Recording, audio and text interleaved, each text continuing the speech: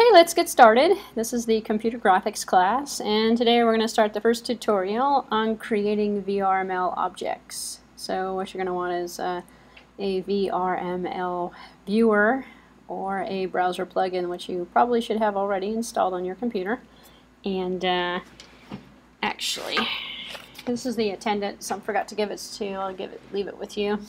Um, and the tutorial that we're going to go over is in fall 2012 and if you look under computer graphics and you look under well let's see uh, this link right here where it says VRML, VRML examples uh, what we have going on here let me make sure I've got my volume turned up here as well.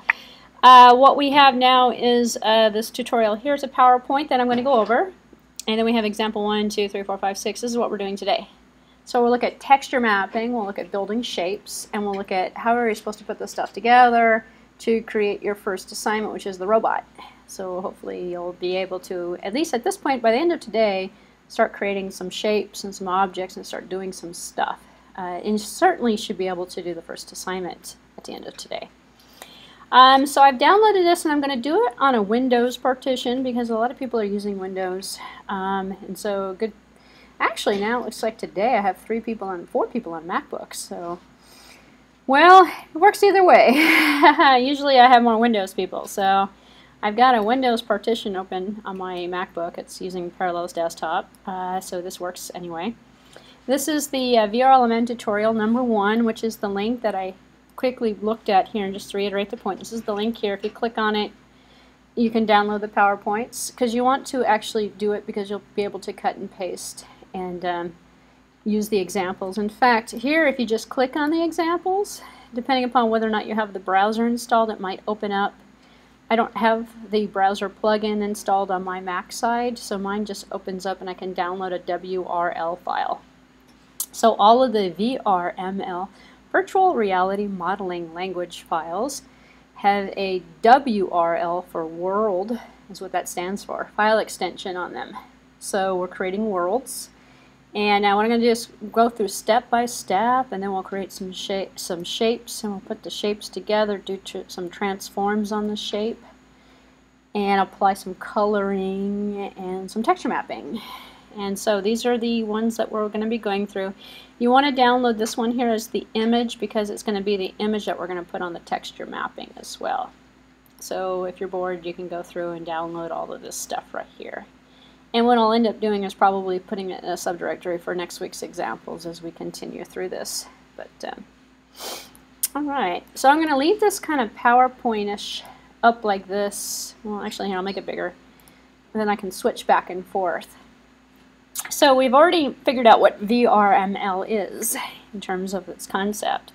So today we're going to build some stuff, and the source code examples are going to be um, in this tutorial work and to take a, a look at, in particular, the concept, what we have here is the file structure. So I'm going to kind of demonstrate what you can do. In fact, I'm going to click on my PowerPoint here. Oops. Well, there we go. You click on the right file, and I'm going to copy it. And I'm going to open up a notepad file.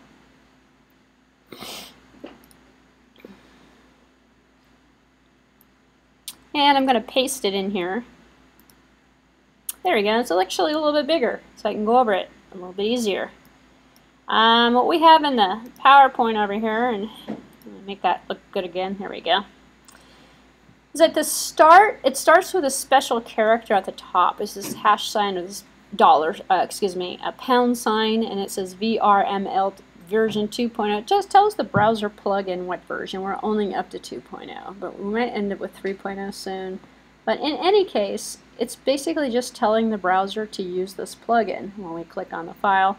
Gives the version number and the character code, and it's UTF for standard text format. So in the example here, and if you do this, the only thing you really have to pay attention to is to make sure that you don't get any special characters. And that you're, in fact, what I just did here is change the quotation mark so it looks like this. You notice this quotation mark over here? Um, it's like, it's a slightly different font. That's a text font. So make sure you're saving it in a text file. Make sure your quotation marks are looking okay. And uh, what we've got on the top is world information. So this is other information that's going to be sent to the browser. Because we're going to save the file. In fact, I'll save it right now. And I'm going to save it as test. Uh, let's see, test dot. And then you want to say change the text type if you're doing it this way to uh, all types. I'm going to call this a lecture dash test, so I know which one it is, dot WRL for world. And in here I've defined a shape. I've used a definition here. I don't actually have to use a definition. I can just call it shape if I want to. Um, or I can put in the definition for it. And if I define it, in this particular case I've defined it fbox, then I can refer to fbox um, at other places in my code. Um, in fact, we'll see that coming up in an example. So we give it the, we give the version number, we give the character coding up here. This is what this is talking about. This has to be the first line of the, of the file. Because when we click on the file, I'll show you what happens. I'm going to save it. Then I'm going to look for it on my desktop where I saved it. Um, where did I save it? Let's just do a save as. I'm sorry? And it's in my documents or something. I'll put it on the desk. I don't know if I saved it over here. Hmm. Maybe I saved it in my documents or something. No, it's in here, huh? Oh, here it is up on the top. I'm sorry. Here it is right here. if I double click on the file, it brings it up in the Cosmo browser and my plugin on Internet Explorer. Here's my Internet Explorer coming up. And my browser is probably going to give me a warning message because I'm loading a, a, file. Yeah, here we go. So, so protect the security. Internet Explorer has restricted the web page running a script, yada yada. So I'm going to say allow blocked content. And I'm going to say, yes, I probably should just turn that feature off or set a different default browser. And then here's the shape that I've defined. So if I click on the browser here, I can see I've got a white box. This is like the hello world, so you might want to try this right now if you've got the ability to do it. If you're on a Windows, if you're on a Mac system, let's do it on a Mac real quick here. I've opened up Text Wrangler. Unless my computer is going to die. It's actually kind of acting kind of slow right now. And I'm pasting it into my Text Wrangler. And uh, I'm going to make sure that these uh, quotation marks are correct again. Otherwise I'm going to get some bad characters that are going to come up. And uh, let's see what's going to happen here. There we go. And I'm going to save it.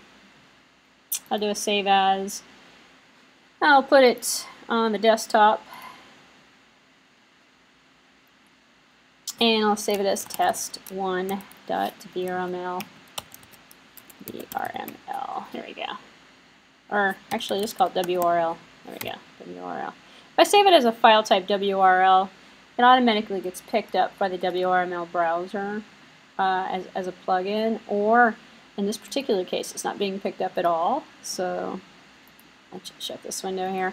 I can right mouse click and open with, and then select, and I've downloaded a couple weeks ago this this plugin called, uh, it's actually a viewer called Instant Player.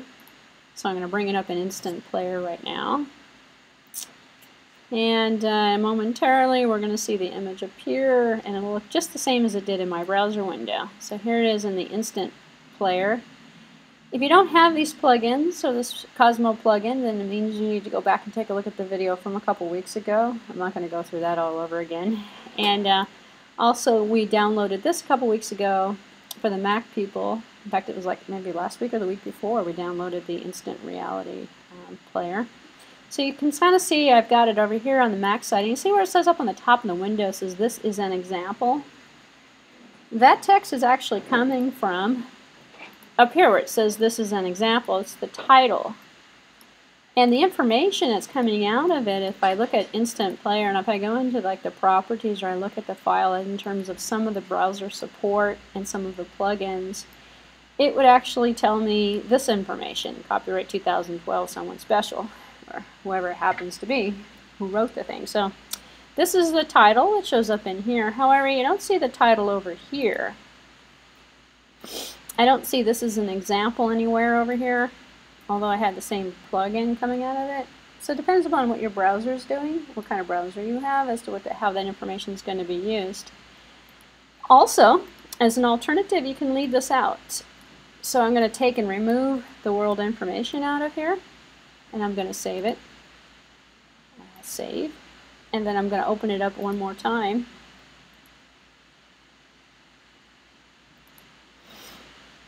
Now it just says test1.wrl on the top, and I've got my same box. I'm also going to show you something else as well. If I go in and edit the file, I believe I still have, no, I don't have the file open anymore. If I go in and open it with a text edit here, text wrangler, actually I'll just do it with text wrangler. And then uh, if I take this out here and just do shape, take out the definition, oops, don't do that, undo. There we go. Leave that in there, but just take out the definition and just leave it as shape. And then I can change them at, well actually I don't have anything specified here. I'm just calling this shape, here's a geometric box. I could say square and then save it. And then double click, uh, click on it to open it up to run it again. And I go, well what happened? There's no such thing as a square. so I'd have to actually pick a defined shape. So if I put back in here and go, okay, let's just put box in here. And then save it. And then come back over here if I'm clicking on the correct file and then open it up and look at it in the instant player. Lo and behold, I have my box back. So if you make a mistake, it's sort of like HTML as you just seen a few minutes ago, nothing happens. So if it doesn't appear on the screen, it means that it doesn't know about square, it doesn't know about sphere, or one of the properties that you've set for the device doesn't make any sense. So it's not going to generate any error messages for you. Some plugins will. As an example, if I come back to Windows here, close this guy out, and uh, let's change box to uh, paper. I know there's no such thing as paper. and I select to save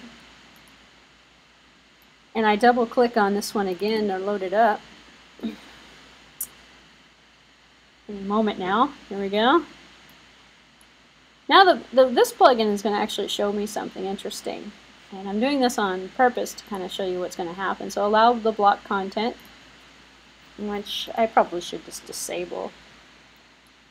I put paper in there as the property, and there's no such thing as paper. So now I have those little red indicators down here it says, uh-oh, there's a problem. So if I click on the little red indicator in my little screen here, I make it a little bit bigger so you can see it, it's going to say parsing error, paper in line 13, node not found. There's no such thing as paper. so you can actually make this bigger here, or you can duplicate it yourself actually. So it's kind of going to, the Cosmo player is going to give me a little bit of feedback. So what you're looking for to see if there is feedback is whether or not you've got red right here on the bottom and also a blank screen which is going to give that to you.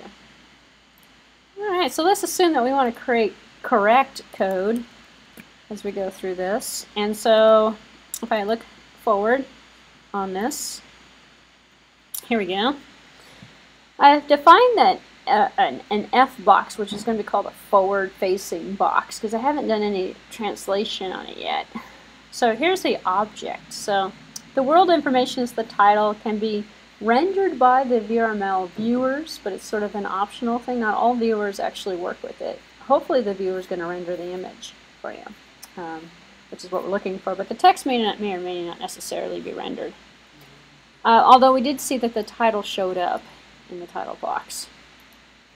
So now we have the object, and this, this world only has one object in it, and the object, and here's the contents of the world is going to be this F box shape. And it is a shape. So what you're doing is you're just defining a bunch of shapes. One shape after another shape, and we're going to see examples with multiple shapes in them, so you can sort of see how this works. And you're giving off appearance and material, which we haven't really set, but these are subparts. So think of them sort of like functions, but they're really properties that look like methods, actually. So if you're familiar with object orientation, this is totally confusing. If you're not, this is very straightforward because you're creating a shape And inside of the tape you have an appearance, and inside of the appearance you have a material. And then you have a geometric box is the geometry for it. So it's uh, you just sort of have to get used to it. And here, here, here's the kind of the hierarchy to it all. So we have the shape node. So we're actually creating a node that we're using. And the appearance is the appearance. The ge geometry field down here is going to specify, well, what kind of shape is this? So the shape node is a data structure that contains two fields of describing an object. Causes a shape to be rendered in terms of the concept. So all we're doing is starting out with nodes. So we're building a sort of like a tree or a hierarchy. The world information at the front. World info is not part of the hierarchy. It's the information about the world in terms of its description. So we can give objects name, and as I mentioned before, that's what we did with define f box, so forward-facing box, um, which is going to be the shape.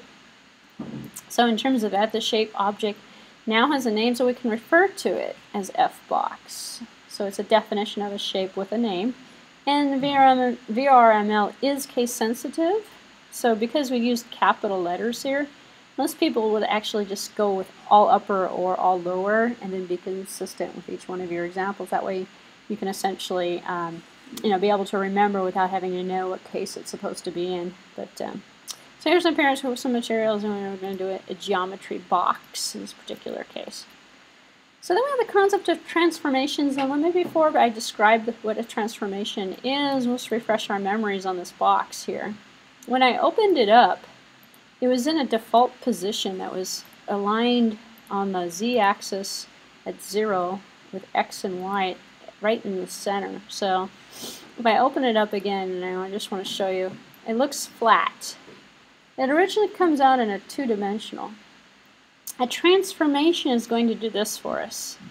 It's going to move it in the plane, transform it to a different starting position, and then also in a different, we can set the position, we can make it so it's not movable, or we can animate it, move it on its own. So the transformation is just basically the one going from here, if I can get this back correctly, which I probably couldn't, which is why I closed it and opened it back up again, to here, or to another. So let's take a look at the transformation. So the transformation is moving an object to a new XYZ coordinate. So in VRML, the center of the object is moved by adding XYZ changes. So we have what's called rotation and scaling. So rotation. We rotate the object along one or more of the xyz coordinates in an amount of the radians, so an angle essentially. Or so to rotate is to move along the xyz coordinates. To scale is to alter the size of an object in one of the three possible ways. We can alter it along the x or the y or the z coordinate system. We'll see some examples of this coming up in a few minutes. So in VRML, scaling is applied by giving three scale factors. So we have the scale for x, the scale for y, the scale for z. So we can kind of change the shape appearances by playing around with the x, y, z. As an example, 222 will double the size of the object, whereas a 1, 2, 3 will leave the x and the y, the x, the x coordinate is 1, it's going to be unchanged, double the size of the um, object along the y-axis, which is 2, and then triple the size of the object along the z-axis, which is the 3 that was put in there. Uh, so let's see if I can get to, and we're looking at this, x, y, z. So when it comes up, essentially we're zeroed on the z, so we're facing forward, which is how we're transforming it. So I'm going to cut and paste this guy here. Copy. And uh, this guy's a transform, and it's going to use the F box, which is why we defined the F box. So if I come out here, did I still got this one saved? Let's see what I got out here. Open with Text Wrangler. Nope, I took the F box out. Okay, maybe I have it over here. I believe this font is a little bit bigger here too. Yep, I have F, F box. So on the bottom here, underneath all of the, because this is one complete unit, this is a node. And then I'm going to come down here and I'm going to paste this in here. It's going to say transform as a child use F box. And if I save it, and I double click here, and hopefully it opens, which it's going to do. I just have a lot of stuff running on this computer right now. and I'm going to block content. This is probably good because it slows it down, slows me down a little bit. And I go, oh, look, there's an error message. You want to say error message, say paper. Oh, okay, so I still have that error I introduced. Okay, hold on one second. Let me fix this paper and put a box in here. I forgot I introduced an error in this example. Alright, so now I'm going to run it. I'm going to see what's going to happen now.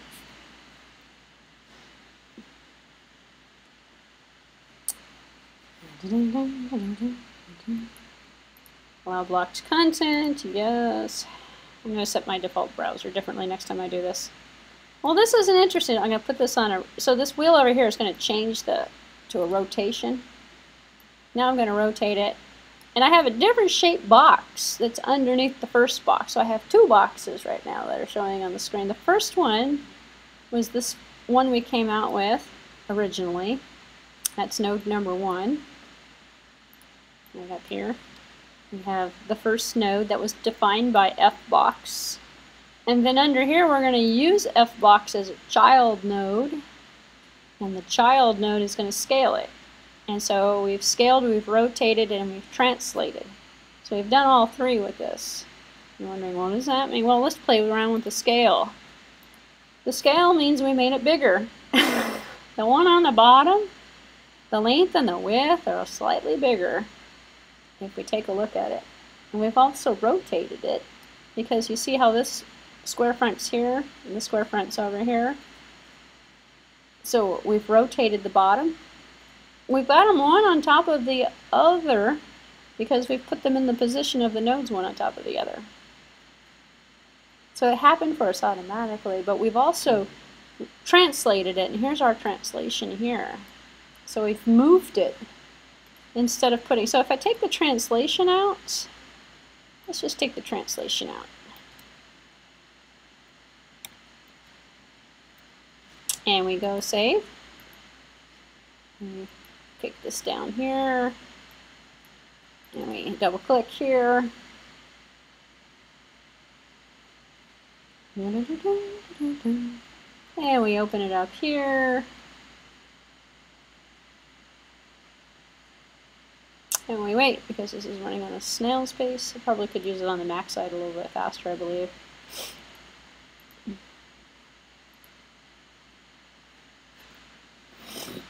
Now they're on top of each other. they're overlapping. because we translated it, and if I come back over here, and I go undo, and I say, well, what did I take out? The translation. So the translation moves it. So as I was mentioning last week, you can, can create a UFO by creating a bunch of different shapes. Putting them all out there, create the nodes. If you don't translate it, it's all going to appear on top of each other. You don't have to call it this way either. In fact, I could just, instead of having using this child node as a box, it enables me not to have to redefine a shape as a box. This could have different property to, properties to it color and shading and stuff. And I can just reuse that concept because it says use F box. It's using this box that I've defined up here, which is the reason why I've defined it.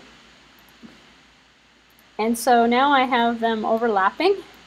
Well, actually, you can see, because one of them is a slightly different shape than the other one, there are, you know, you can see one of them's inside of the other one and none of them are translated. So if I translate it, I can move it. And when I've moved it, this is the X, this is the Y, this is the Z.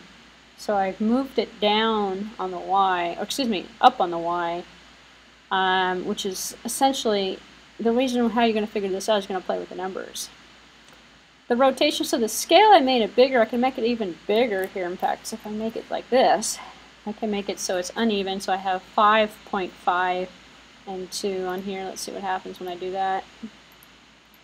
So what you're going to do is play around with this. Yeah?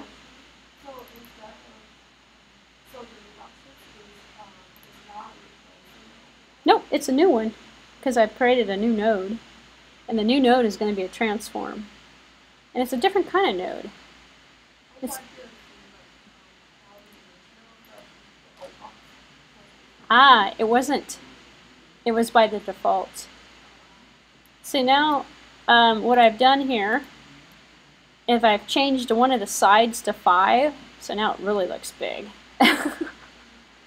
so now it's like, I think it was 2, I changed it on the 5, so it's not, it's like not really a, a box anymore, it's more of a rectangle. If you don't mention any dimensions at all, in fact, if we go back to the beginning, we just said box, it's just going to give you standard box whatever default settings are there, which is probably going to be like a 1 by 1 by 1 or 2 by 2 by 2. And these are in pixels, but they're it's also interpreted by the browser and by the plugin that you're using. So if I put this back, let's scale it back to 2. Let's put it on 1 now. I'm going to rotate it slightly differently. I'm going to rotate it to a 1.5 here and uh, a 1 over here. And I'm going to see what happens. And then if I, uh, I think I saved it, I hope. Yeah, pretty sure I did.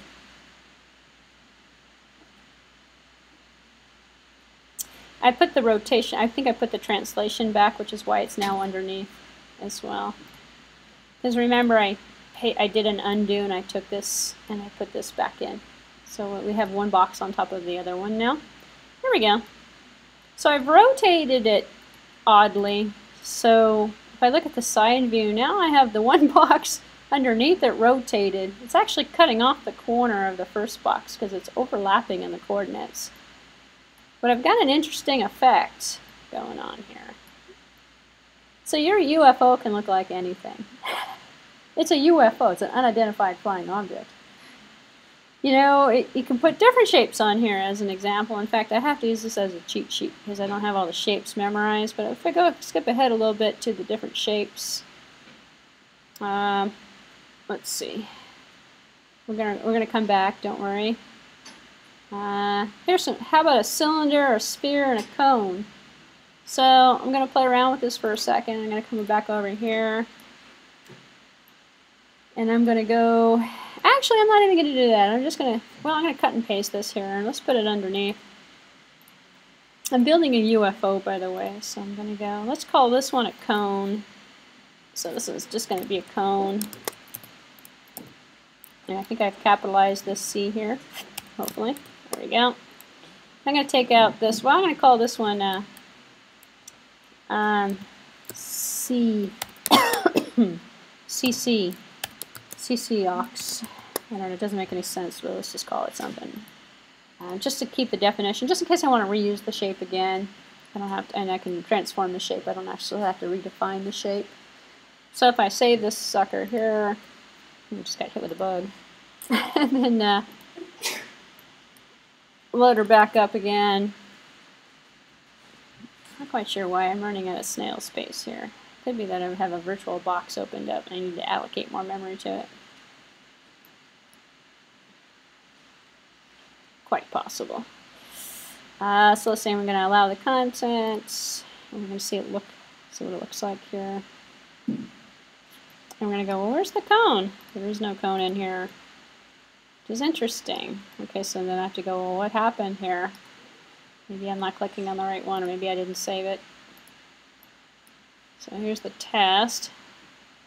Um, oh, it's probably inside of everything. so then I'm going to apply a transform to it. Because it could be that the shape is behind. And the cone is probably behind the box. Because the box was out there. So I'm going to transform now. I'm going to put the, whoops. I'm going to put the cone out here. I'm going to use the, I'm going to put another one out here. So I could just define it in here on the transform. I don't have to do it this way. I'm doing it this way because I've defined it out here. I can just put the shape in here and not use the child shape as a child. Um, so let's see. And then uh, let's see. So I'm going to take out this transform up here to see if I can get one underneath it. So now I have two shapes and now I've decided I'm going to create a transform for that one. So I'm going to save it. Let's see if it works. May not. Who knows? So it's kind of a trial and error, uh, which is why you want to make sure you have a browser or plugin installed or a viewer so you can go through this process.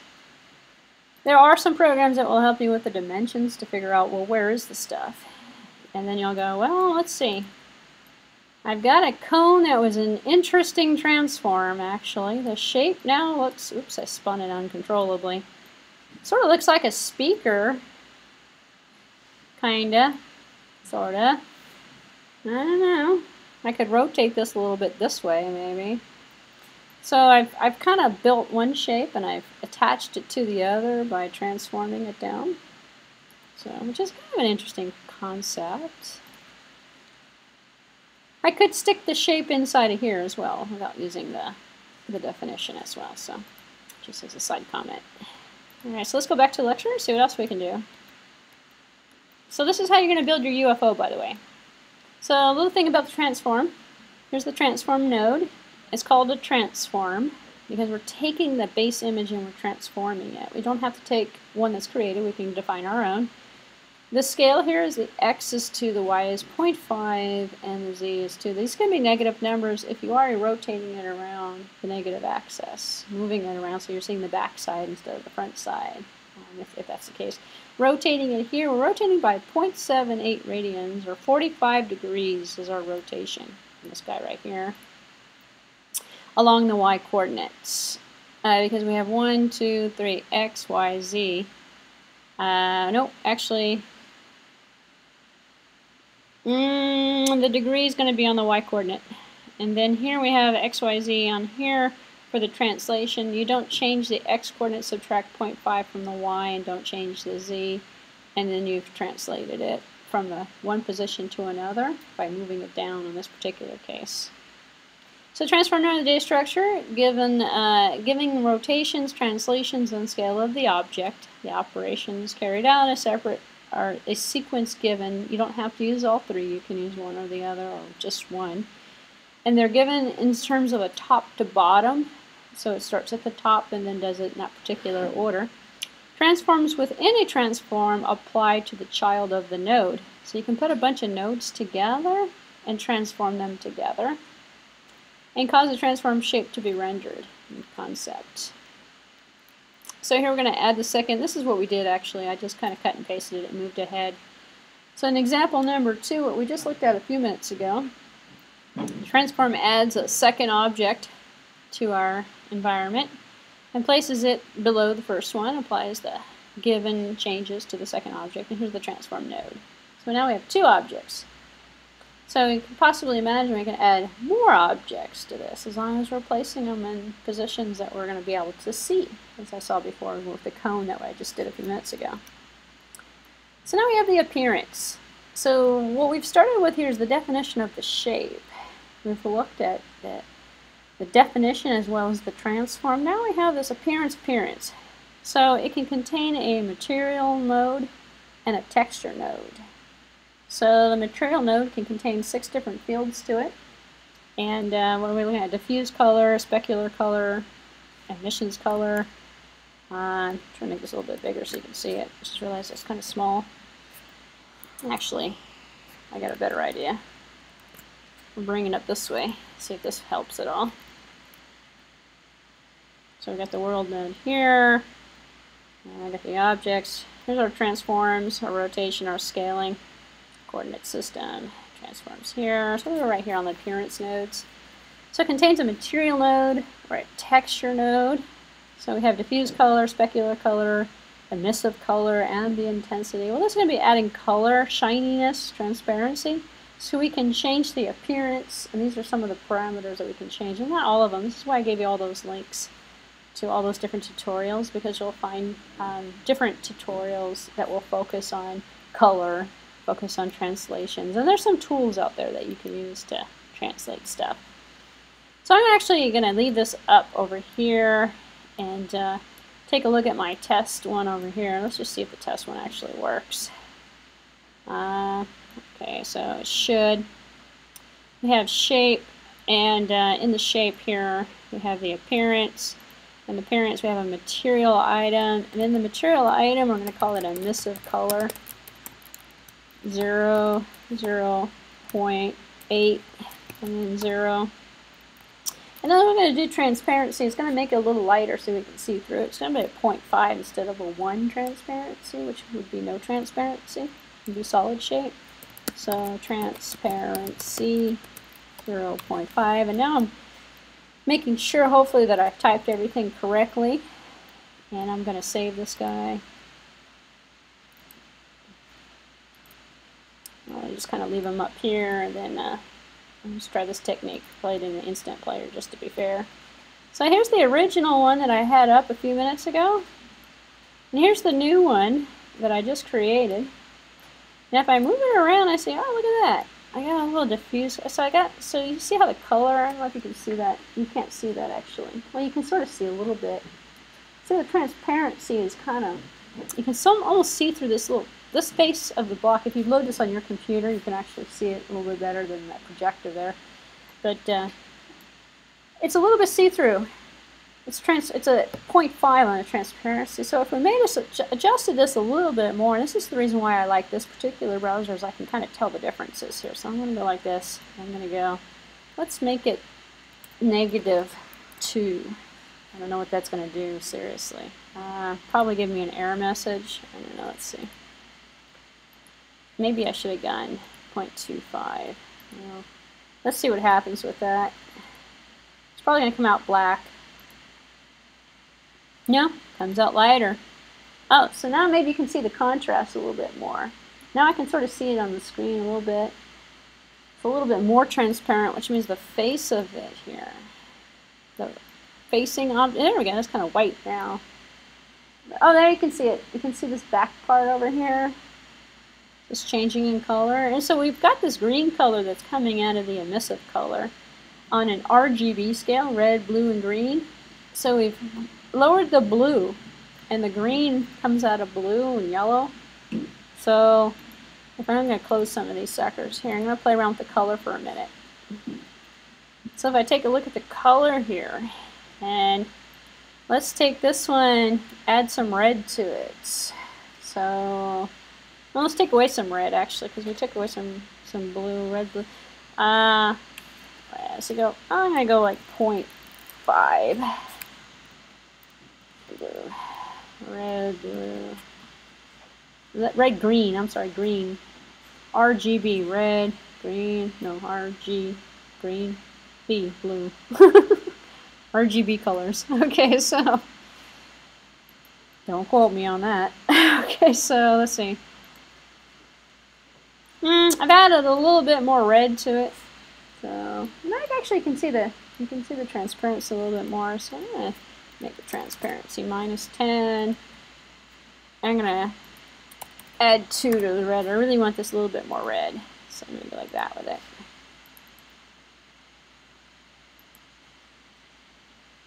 I'm not getting so far, but my transparency is getting lighter. But uh, I'm going more yellow now. So anyway, you're going to go online look up the colors, essentially. Actually, let me just try one more here. Let's go, let's take this away and go one. See what happens with this.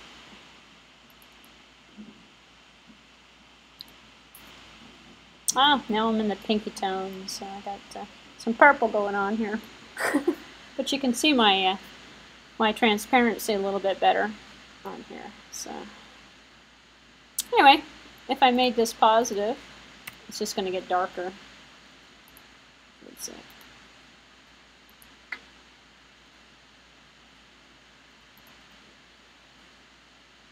Yeah, it's like black now. it's on there, but you can't see it because it matches the background. it's completely solid. So Let's make this negative.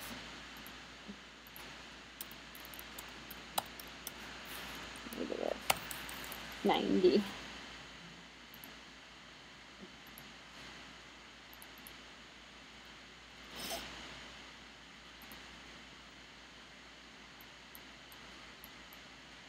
Hmm, okay. well, hopefully you get an imagination of uh, what, what could possibly be so difficult in trying to figure out well, what combination do I have. Then you go online, you go, what's the RGB color I want? And in fact, this is a classic example. You bring up a web browser and you go uh, to Google.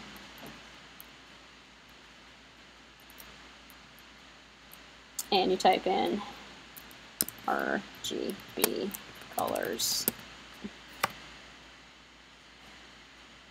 We don't want the hex, we just want the numbering system. So here's something here. This looks pretty good. The mapping.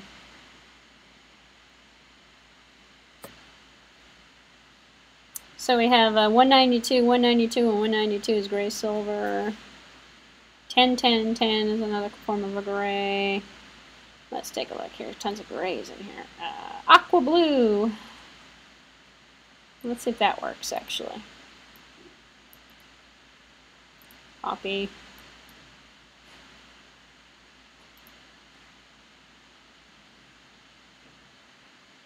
Oh, I didn't specify the color. I don't see of colors. Just do it this way. Oops.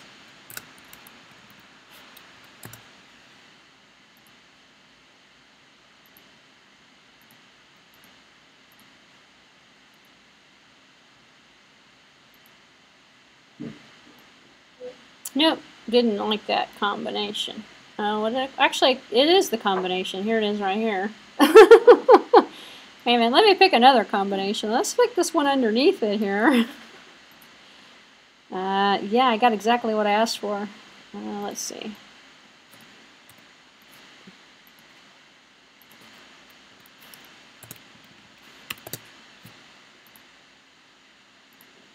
Let's try this one out. This one should be a purple color. With instant player. Nope.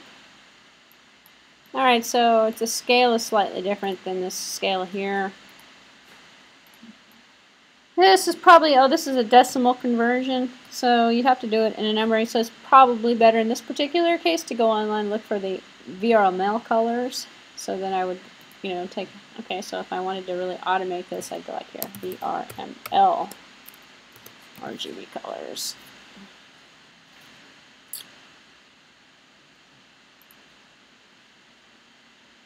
Mm -hmm. And then we have black. Okay, so we have the red, the green, and the blue combinations. Silver, lime. So let's say if I want maroon, I'd go 0.500. So let's try that one out here. What did it say? 0.500. but this is also a emissive color, so let's see. Um, we have some examples with some different types of colors as well. So let's see. What's color? Is this maroon? It's maroonish. So that's a little bit closer in terms of color. Also, you might your monitor itself. In fact, this looks a little different than it does on mine. This looks like more not as maroony as it does on my screen actually. So the projector is actually changing the color of it a little bit. So this, by the way, I just did a simple Google search on it. And usually they're going to show you the colors and then they're going to show you essentially the scale. So this is how you're going to look up the information, by the way. Nobody memorizes the RGB scale and the numbers combinations to give you the colors that you want. So I'm going to leave this window up actually because I might refer back to it later for some other colors. Uh, so let's see, if I go back to the PowerPoint, what we're looking at here is an emissive color. So the transparency of 1 means invisible, 0 means transparency as the default. So you leave the default transparency in existence. And 1 means it's invisible. So if I set the transparency to 1, it's not going to be, in fact that's what I did, I set it higher than 1, made it invisible actually so I couldn't see it. Uh, why would you want to do that? Because then you can change it further down the road and make it, uh, make it visible and then the object would appear out of nowhere, essentially. So texture modes. So we have image textures. So we can cover an object with, with a uh, still image specified by a JPEG or a PNG file. We have movie textures. We can actually put links in there too. I have an example that's going to show you a hyperlink as well. Texture maps with a PNG file onto an object. Or pixel texture. And um, just to show you uh, what we did with the Um, color, before I forget, we looked at emissive color, so the object glows, just to kind of fill you in on what we did here. The object glows with the light as its own, uh, with its own color. It doesn't cast light on other objects, the emissive color category that we set. If we wanted to change a specular color, I mean the color highlights on shiny objects, or ambient intensity that can be set, or shininess, how reflective the object is. So shininess number between 0 and 1, um, 1 meaning it's off, between 0, so 0.5 to turn it on. So if I wanted to, I can add shininess, and here, let me do this as an example. Um, although, let's, um, here it is right here. I'm going to change the uh, color to a diffuse color, which is a normal color. So here where it says emissive color, maybe I can change this view as well. View the text display. Show the fonts. Here, let me make this a little bit bigger so you can see what I'm typing, actually. To 18. Oh, there we go. That's a little bit better. So 2018, 24, 36. Ah, perfect. Perfect. Now you guys can actually see what I'm typing. so I had it on emissive color. Emissive color was the uh, uh, glows with the light of its own color. So it's glowing with its own. So I'm gonna I'm gonna change this one actually to a uh, diffuse color. So it's not just painting a color on an object, it's actually specifying the type of color characteristic that you want to add to the object. So if I say this guy here, you can see the effect. Before that object, which is a bit shiny, I'm going to open it up here again. See now it looks more maroon actually, because it's not, well you can probably can't even see it on your screen, but it's kind of dark. So actually here, I'll change this to a blue color. Um, let's see. Go back to my color combinations. And uh, I like blue. I could take, say, I'm going to change it to teal. So I got 0.5 and 0.5, 0, 0.5 and 0.5. So let's do that.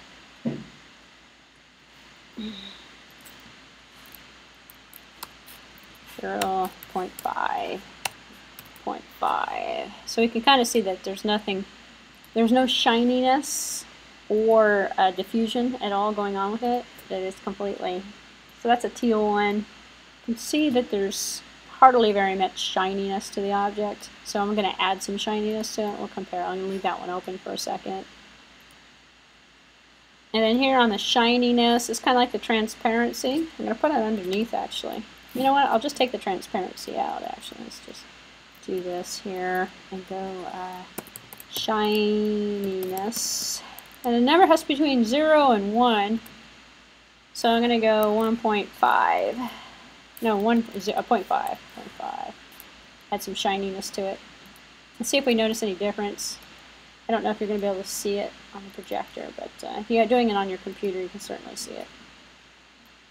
So I can sort of see it if I compare the two. One of them is shinier, but you can't see it probably on the projector. if this was a silver color, it would look more shinier, I think, because of the blue color. It's not looking that shiny. But uh, I definitely, when I compare the two images, I'm sort of seeing a little bit, but uh, it's hard to see it, however. So. And then the um, other ones that we can look at, um, in fact, one of them is, is not uh, uh, the ambient intensity. Mm, okay, so we, we pretty much exhausted all of those different options in terms of the appearance that we can put on there. There's other as well. This is just a this is just a, the, the defaults that normally people set in terms of the texture and the color. So looking at the texture, pixel texture, defining your own textures via the RGB or the gray, grayscale. So here's an example, and I put this one out there. I called it Brick Wall. Uh, so Brick Wall demonstrates the use of textures, and you need the, uh, the texture for it. So what I'm going to do is um, copy these out here, actually. I'm going to do one before and one after. So if I take my brick wall, a CG brick wall, and put it out here, and copy this guy out here. Oops, I can't copy. Okay, so I'll take it from the website. Oh, no, I can copy it. That's interesting.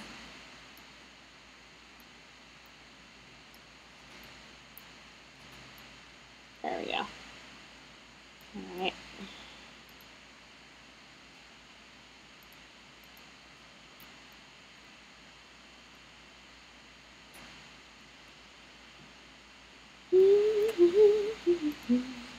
So these examples, by the way, are the ones I pointed out originally on the bhecker.com website. They're right here. This one we're looking at, you need both. You need the brick, which is going to be the image file, and you're also going to need the brick wall texture map, which is that example that I just showed you a few minutes ago that I'm going to look at right now, actually. So I'm going to close this one and uh, open up this one for you so you can sort of see what the example looks like. Open up in Text Wrangler. It looks like I have to change the, uh, the text display again. So let's just put it on 36. Ah, perfect. A little bigger. So in this particular case, uh, we've actually used a comment on it. So up here you see this hash line up here. And this is the name of the file. If you want to put your name on the file, here's, here's another comment that says demonstrate the use of textures. We didn't give this shape a name. Instead, I just called it a shape, created the first node, and we gave the appearance as a definition, the texture appearance. So we can define anything we want. We can we can define the appearance. We can define the uh, uh, the, the shape itself if we want to reuse it. So here we have the the texture. It's going to be image texture, uh, which is going to be uh, the name of the texture. The URL that we're going to use for this is going to be this file right here, but I'm going to throw this file away right now so I don't have the file. And if I run it without the file, let me just show you what happens without the file. It just doesn't load it. Wait a minute, test one. Wait a minute, I don't want test one. Hold on, let me throw test one away too. Or actually, I'll just leave it down here. Uh, let's see, we're going to open this one, the right one, with the instant player. And this is this is a brick wall, but there's no image because I just threw the image away. Which means it's not putting the image on the brick. In fact, the brick is just white. If I take the image out of the trash and I restore it, I say I put it back. There we go. So the image is now back out here. And now I load it again. This is the common problem is here now now the brick wall is on the image and it's texture mapped on the whole thing. So texture mapping takes the image and puts it on top of the uh, on top of the object itself. So here we have um, the URL, which is could be anywhere. It could be on the internet. It can be, um, and, and, I didn't specify a directory location, so it's picking it up from the same, and then this is the name I gave it. If you change the name of the file, obviously change it uh, change it in here. This is just comment saying this is the end of the texture, this is the end of the appearance. So in the appearance we define the texture and it's going to be so we can we can use this later if we wanted to to redefine without having to redefine we have the texture and we know it's this brick wall thing so we can kind of reuse this further down which is why we defined it but we're not really reusing it instead now we have a box and the box has sides 1 2 and 3 and so if I, you know, change the size of the box, maybe make it 3, 2, 1, it's going to be an interesting looking box. And then run it again. There it is. So the box shape changed, but the image map didn't change. So this is kind of a bigger box. It's a 3, 2, 3, and this is a narrower box. So, but the image just wraps around the box on the geometry. So I have another example of a car, actually, that uh, I showed you a couple weeks ago. That uh, let me drag out here because this seems to be running a little bit better. Um, text car, texture mapped car.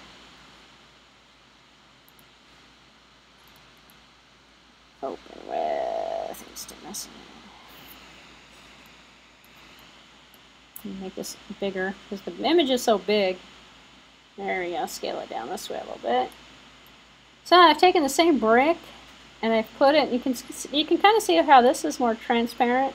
You can see through the window and you can see the other side of the window here. Which is a better, I mean, rather than looking at a transparent box where you're just going to see through the box, you can see the other side of the box. it doesn't really demonstrate the transparency part. And I've only taken the texture map and I've applied it to the top of the car, to the hood, and to the back of the car. And the rest of it's colored as the car's supposed to be. And we've got some uh, some cones or cylinders actually, and some squares. This is just basically boxes and squares. So if I take a look at this code here, which is really just demonstrating the same concept over again. This one here is actually given for you out on the website as well. And let me make this one a little bit bigger so we can see this one as well. There we go. Hmm. There we go, that's pretty big. More comments on the top based on the slab car. This is the guy who made it actually, Andy Harris originally. So the transform is using a scale of a 0.8, 0.8, 0.8. And what we have now is a bunch of images that are put together. This one is probably a more advanced example, but I wanted to show you the image texture mapping, which is the same concept. So we have the main body, and this is why we want to put comments in here. So on the transform, the transform is the big car. It's the image. So we're placing it in this particular orientation to start out with. Transform contains a child. The Child is going to be the main body top painted first. And we have a translation to set its orientation in the scene. And the child of that top is going to be a shape, and the shape is going to have a blue appearance to it. And the uh, we have a material, we have a diffuse color 001. It's going to give us the blue of blue appearance, and we're calling this one define blue. And then we're going to we end this material. Then we have another one. It's going to be textured so it's going to be image texture. And So if I take this out as an example, or actually just change this so it's the wrong file, we see now we're going to have the top is going to be a different. It's going to be blue actually. So where's my, actually we don't need the boxes anymore.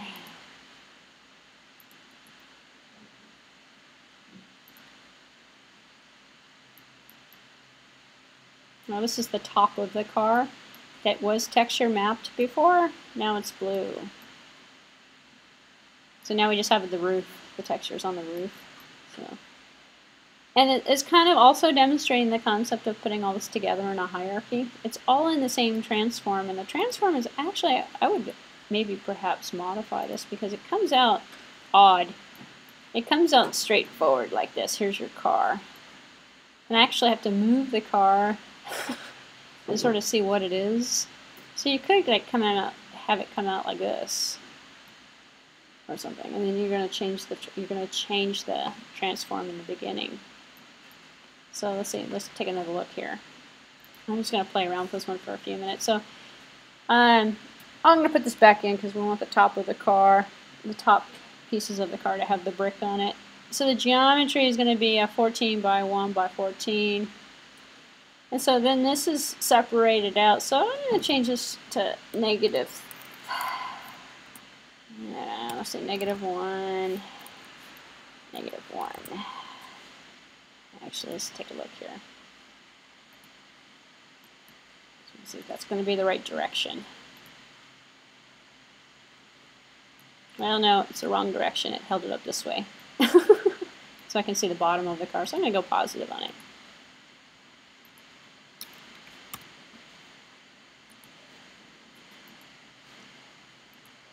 And this is essentially how you're going to try and... Uh,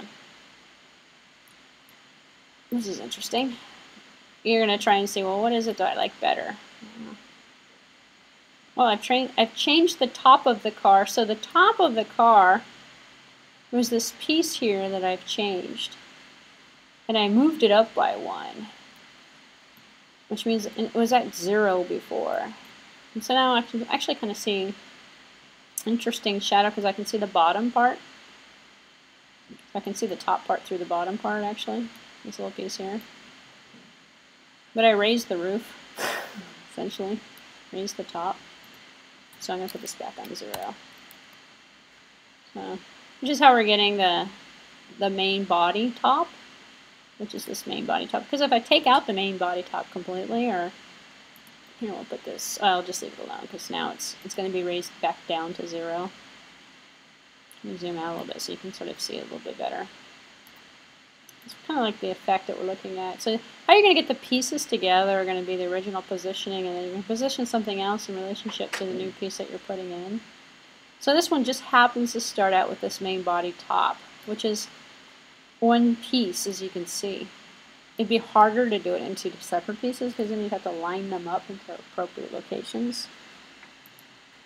And so then we have, uh, let's see, we get past the top, we can look at the body bottom. And this is the bottom, this square here is the bottom. So, in fact, uh, we have a diffuse color on the bottom, and then we have uh, body, uh, main body bottom, and this is the translation for that. So if I just changed it like this, for example, instead of negative 2, I made it negative 1, I'm going to totally mess this up, actually. Let's see.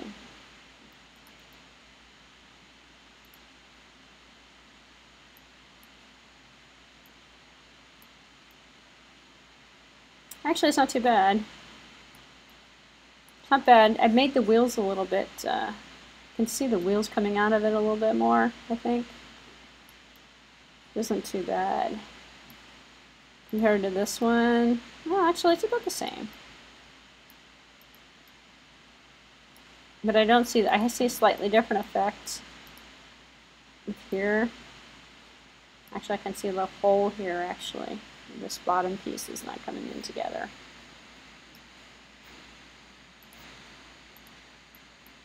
So I'll edit undo typing, put it back on too. so anyway, so we have the same blue appearance that's going on. And then um, applying the roof. And uh, let's see, we can raise the roof. Here, I'll just put 5 on.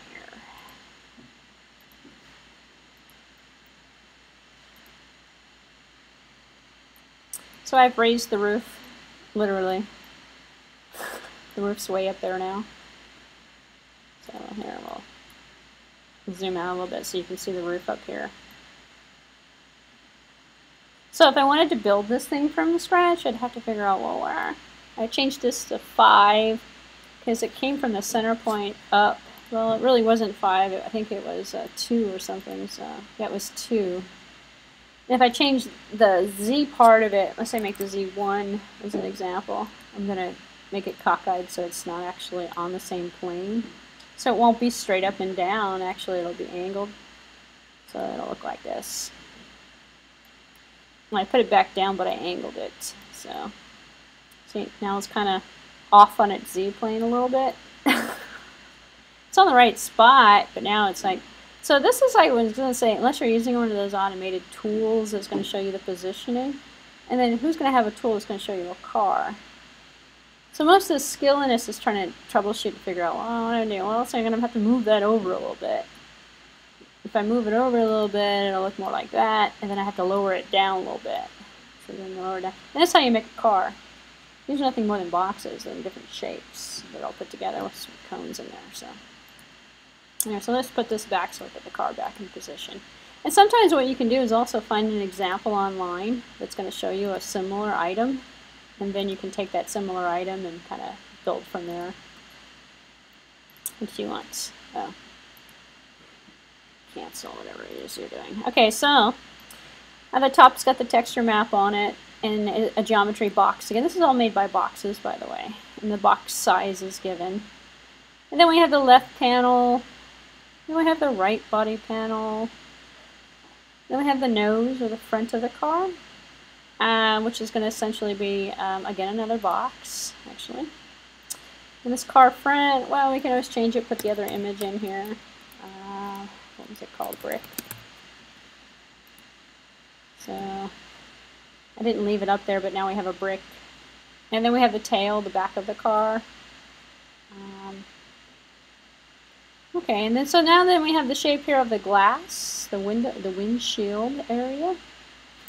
So it's going to be extrusion. This is going to give us our cross section, which is going to give us our. Um, uh, it's going to be a. Oh, this looks like the wheels actually. You know, extrusions, the inside of it.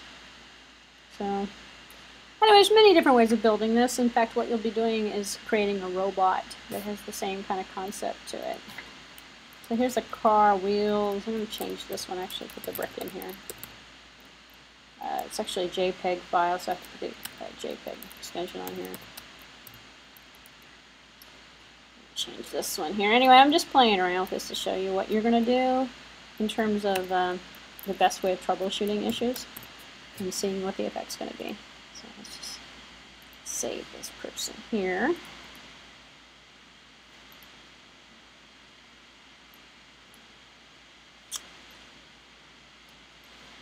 So now you can see I've added the brick to uh, the front of the car actually has the brick too now.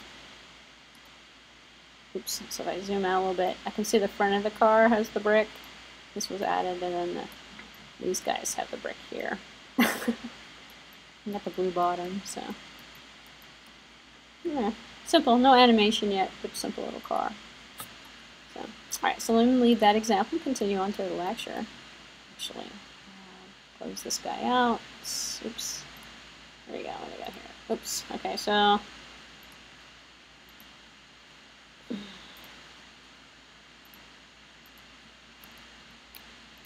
So we looked at the texture mapping as a concept, and that was just one image. You can take many different images and put them on different different surfaces to create, um, you know, like a, a, floor, a wooden floor, as an example, some walls, some pictures.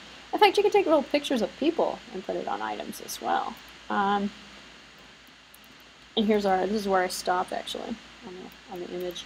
And if you want to, if you download the, the lecture, if you click on the image, you can actually save that as well.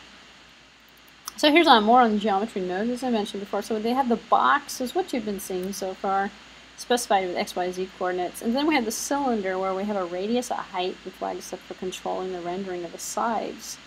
So the radius, the height, and then the sides. So top is going to be false, oh, excuse me, false on the cylinder. Um, so if we created one of these here, in fact, if you wanted to see what these guys look like, you could easily, and let me go back to this one here. This isn't going to take too long to type in. Is uh, type some of the shapes in, actually. Here, I'm going to take all this stuff out. And I'm just going to go, um, actually, me not, I have to retype everything. Let's just do undo typing. I believe this one already had a box in here. Yes, it did. Perfect. So then down here, I can go geometry, uh, cylinder. And then in here, go our radius. 0.5. I don't believe you have to put the O in there. Um, height, 10. Uh, top, false. So I have a single shape in here. just make sure that's correct. Vivo save. And which one is this? Test one. There we go. Oops. Zoom out so you can sort of see this, and then I can move the shape around. So. And so if I say, well, what, is, what does that mean? Know, I put the top, and I said false. That's what it means. There's no top there's absolutely nothing on the top. So if I go false true, if I leave that out, so you can see how we have one end, that's the bottom, and that's the top. So I can just leave this out. Or make it true.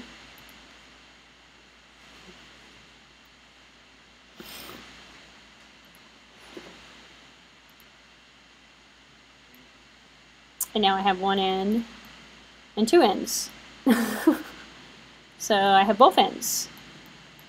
So I can say bottom false, bottom true.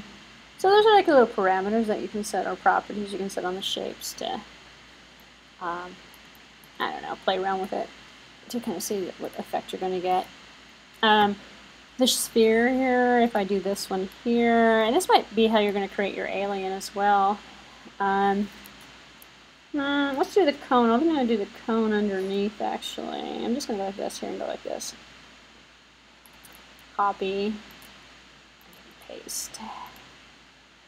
See what happens. Um, I'll put it make it bigger, because that cylinder is pretty big. So I'm going to put here a cone.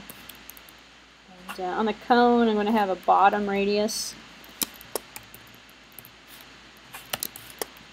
Five.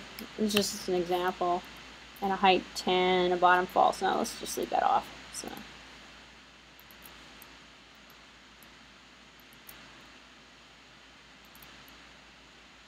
Oops, uh, failed to load. Let's put this one. Hmm, let's see. Uh, the scene destructor. Warning scanner. Hmm. Oh, probably because the way I have this defined, actually. Let's get rid of this one here. Now let's do it.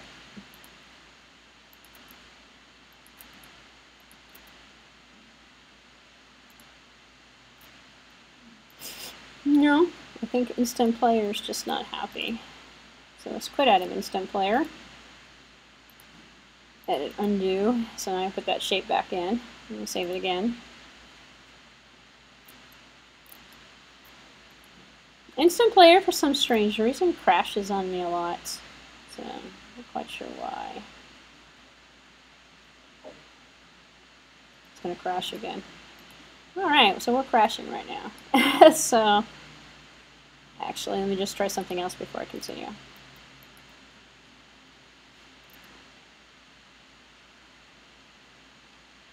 Uh, let's see. Let's take this out.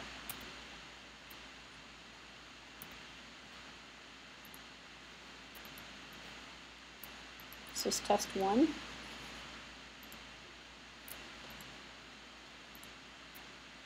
Cancel Chris instant player.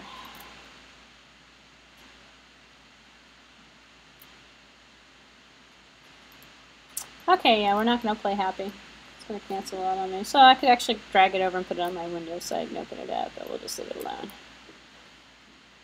Let's quit instant player. Actually, let me take one of the cars that used to work. Maybe it's something with the code, actually.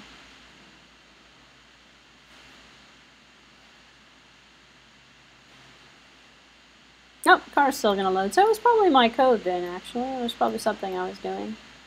If the is still loading, and that's the last version of the car. So. Alright, so let me see. Troubleshoot my problem real quick here. I probably had a special character or something in here. Uh, or applying a property that didn't that didn't exist.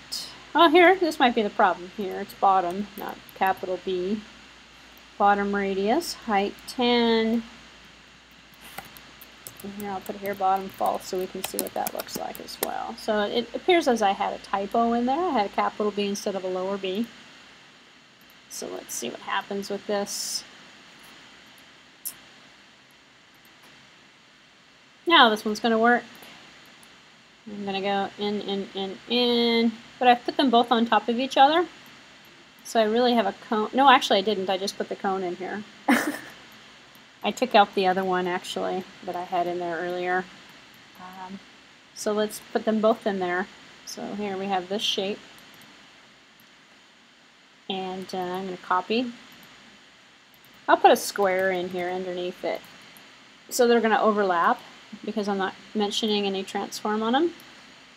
So this is going to be a box so as you just experienced actually with my instant player crashing, it was nothing to do with the instant player. It was the fact that I had a capital B for the geometry here for bottom radius.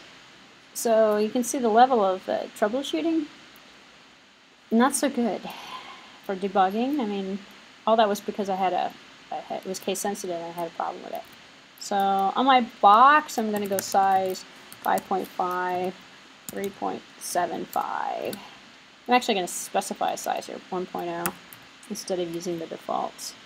So now I have a box and I have a cone, I believe, yes, that I'm going to put together.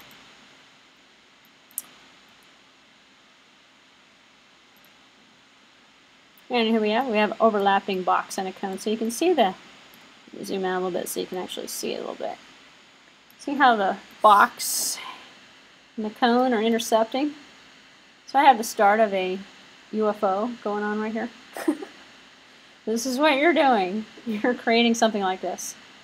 So you're going to put something out. So this is intercepting.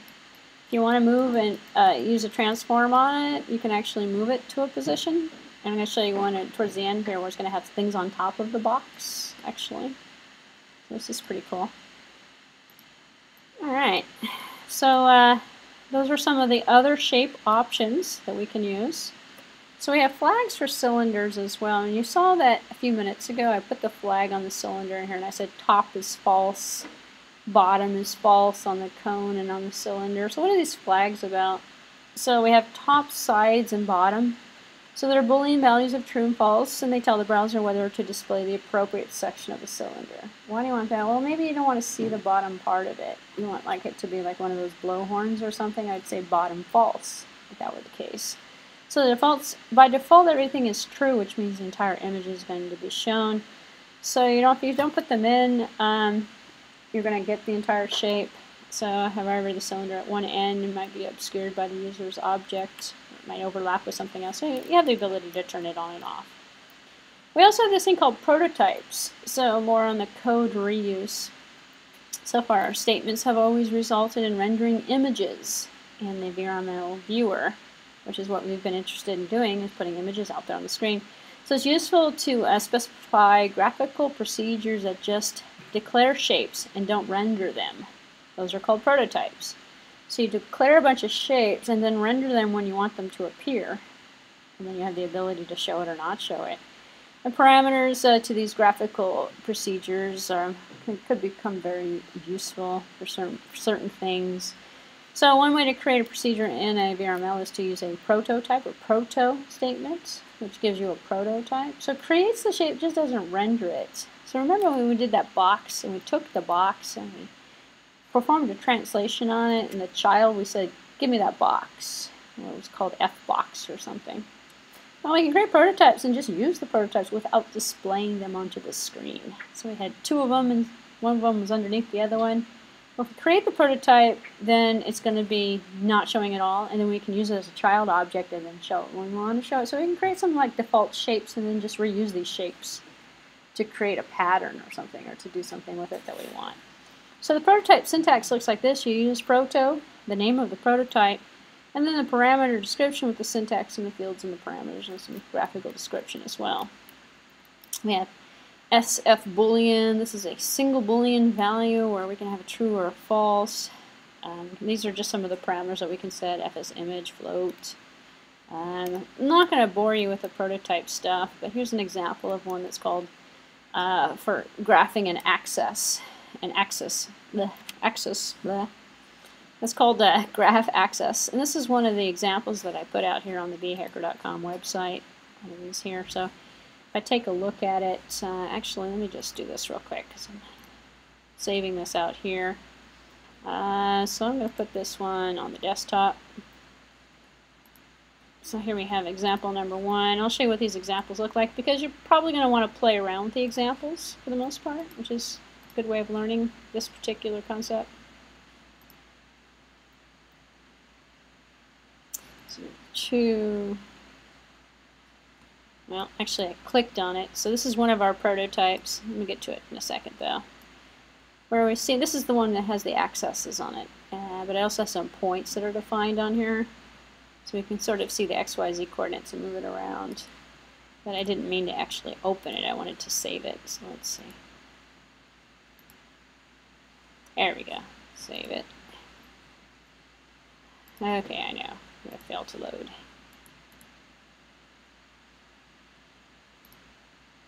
I know. Just stop loading.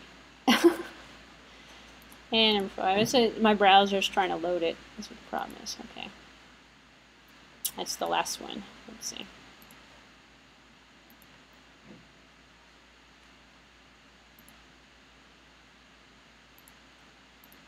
There we go.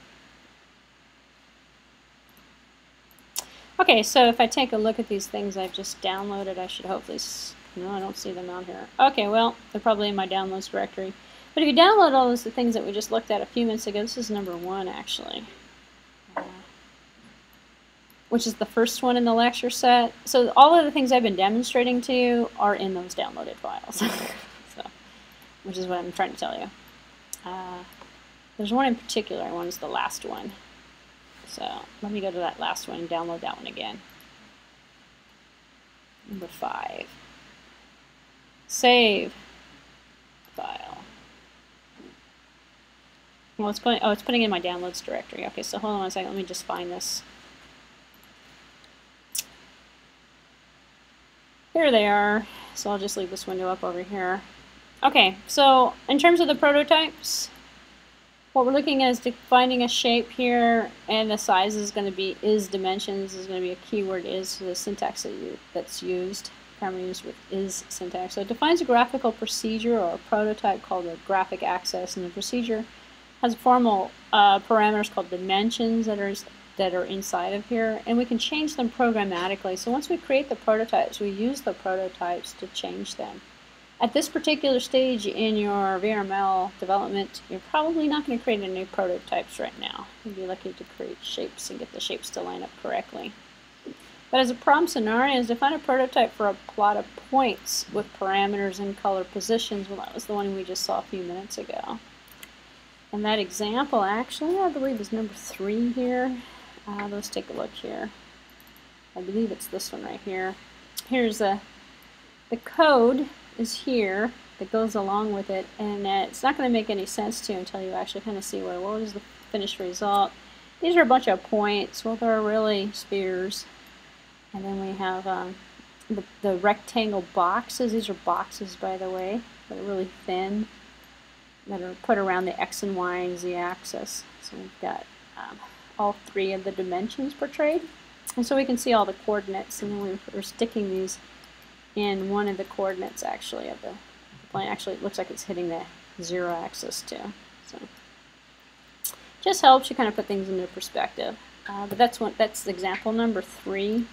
The first two are from the lecture part that we looked at already. The first one I showed you a few minutes ago. Second one doesn't want to load, which is fine. It doesn't have to. We've already seen it actually. So, so navigation.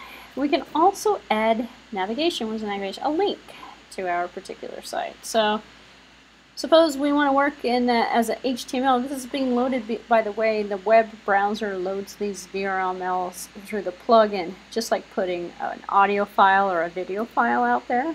You're um, loading it up, it's showing up, and it's embedded in your HTML code. But what if when the user clicks on a particular part of your VRML image in terms of your world, it goes to a URL. So in this particular example here, we're creating an anchor, and then the anchor is a child, so it's going to use the head. This is going to be the head portion of the browser. So it's going to go out and say in the head. Well, what we're going to do essentially is tell the browser to go to this URL.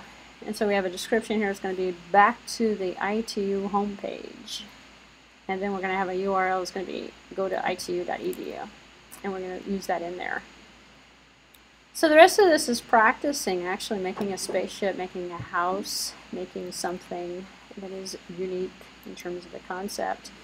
Um, I'm going to close this window because it makes it run a little bit too slow. But um, So I'm going to cancel this here for a second. Let me just minimize this here. I'm going to open up the house expression, or the, excuse me, the last example, which is number five, I believe. And take a look at this one. So talk about your spaceships. This is actually kind of like a birthday cake or something. Uh, we can put an image map, and I'll put an image map on here actually to show you what I'm talking about. I still have my image out here. Um, so I put words ITU world on the side, one side of it. You kind of see they have a bottom. We have little cones here that are duplicated on the sides. A little cylinder with a round ball. That looks like a spaceship. Actually, kind of looks like a birthday cake most part. So let's take a look at the pieces of this. So if I open this up in TextWrangler,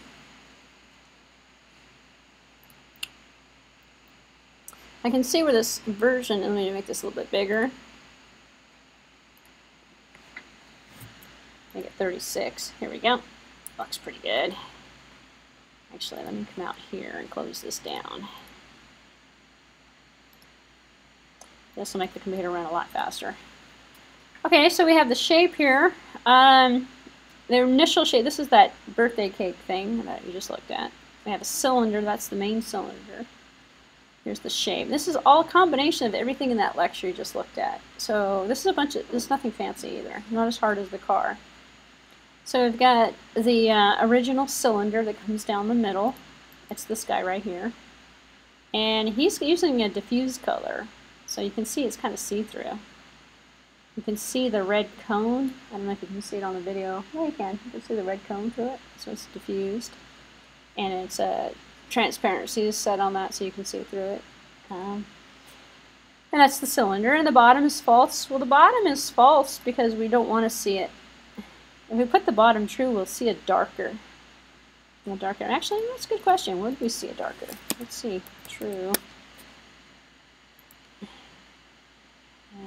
Let's go save. Where's my downloaded files? Actually, here, we'll just do this one here. Nope. Open with. Instance. No effect, really, actually. I didn't see an effect on this at all. Okay, so I guess it's probably intersecting with the bottom piece, so it's going to be white anyway. So no real effect on that. That's so we probably could just leave it out. And then here we have a brick. Well, we don't have brick image, so I'm going to change this one here because I changed the name of the image to CG brick. So I'm going to put this brick that's out here uh, in here. This is going to be on the, uh, I believe it's going to be on the round part on the top. But let's just take a look here. No, it's going to be on the box. Well, let's take a look here. Repeat S, repeat true, repeat T. So let me let me just see where the brick appears here. Save.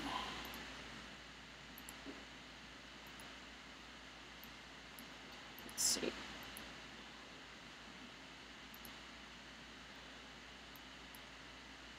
Well, I have a strange feeling I'm opening up the wrong file. Let me just save this to the desktop. Which is probably why I didn't see anything on the other one. So let's put this guy on the desktop. There we go. And I call it example 5. There we go.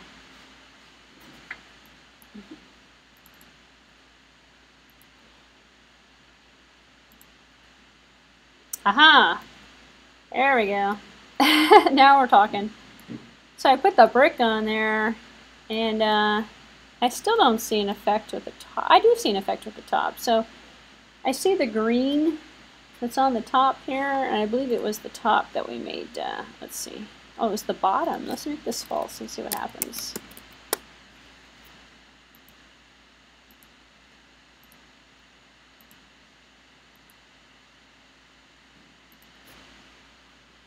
bottom. Hmm. Well, I'm not seeing very much of an effect there. But I do see the ball, and if I click on this ball right here, see where it says ITU homepage on the bottom? Just showed up a few seconds ago. Let's see if you look down here on the bottom of the screen. That's where the hyperlink is, and so if I press that, I get the ITU homepage that's going to come up in my web browser. So that's a demonstration of the hyperlink, actually.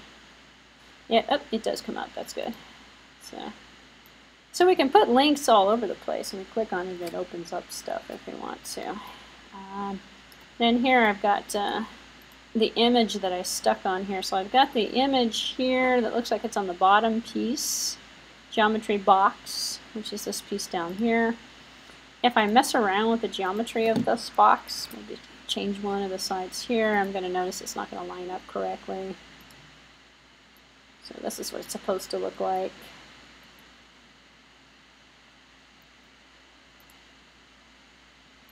This is what it looks like now.